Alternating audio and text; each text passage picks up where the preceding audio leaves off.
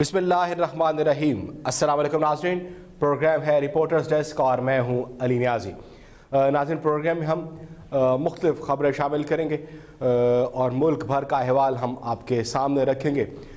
ناظرین پروگرام میں واپس آئیں گے اور خبروں کے سلسلے کو پھر سے شروع کریں گے. چترال سے ہم خبر شامل کر رہے ہیں، جہاں کے بالائی علاقے شاہ گرام سے تعلق رکھنے والے ایک غریب شخص کو با اثر افراد نے عمر بھنج کی جو جمع پونجی ہے، اس سے محروم کر دیا ہے۔ کیا ہوا؟ ان کی زمین پر قبضہ کیا گیا اور اسے بعد از قبضہ فروخت کر دیا گیا۔ انصاف کے لیے وہ مختلف اداروں کے چکر لگا چکے ہیں، لیکن ابھی تک کوئی انصاف انہیں مل نہیں پایا ہے۔ گل حماد فاروقی ہمارے ساتھ ہیں، ہم ان سے بات کریں گے۔ گل حماد، آپ کیا بتائیں گے اس بارے میں ہمارے ناظرین کو؟ میں کڑا ہوں چمرکن کے مقام پہ۔ یہاں پہ ایک ٹکڑا زمین ہے۔ جو تقریباً کوئی ایک ایکڑ بنتی ہے، اور اس ٹکڑے پہ، زمین پہ یہ جھگڑا ہے کہ یہاں جو الیکٹڈ ایم پی اے ہے جو صوبائی اسمبلی کا رکن ہے، جمعیت علماء اسلام سے اس کا تعلق ہے، مولانا حدود الرحمان صاحب، تو یہاں بھی دو فریق ہے ایک فریق کہتے کہ اس نے مجھے زمین بیچا، اور دوسرا فریق کہتے کہ مجھے بھی بیچا۔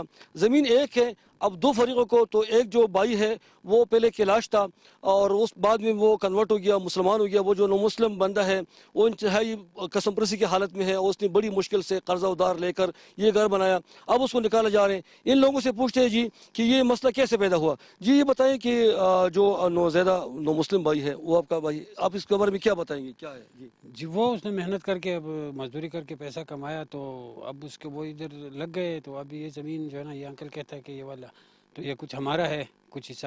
تو اب ہم نے یہاں گھر بھی بنائے ہیں اور کافی خرچہ بھی کیا ہے۔ اب ہم تو یہ یہاں مشکل ہے ہمارے لیے اس طرح ہوا تو۔